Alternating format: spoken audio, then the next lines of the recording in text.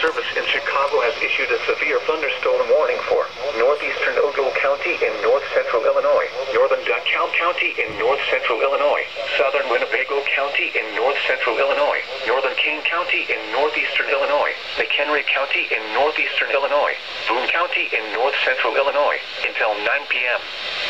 At 7.55 p.m., severe thunderstorms were located along a line extending from near Delavan to near Timberlane to 6 miles northwest of Byron moving east at 50 miles per hour. Hazard, 60 miles per hour wind gusts and half dollar size hail. Source, radar indicated. Impact, hail damage to vehicles is expected. Expect wind damage to roofs, siding, and trees. Locations impacted include Rockford, Algonquin, McHenry,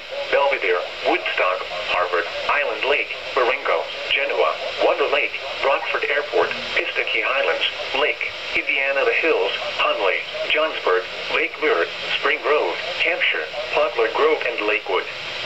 Including the following interstates, Interstate 39 between mile markers 110 and 123. Interstate 90 between mile markers 32 and 64. For your protection, move to an interior room on the lowest floor of a building.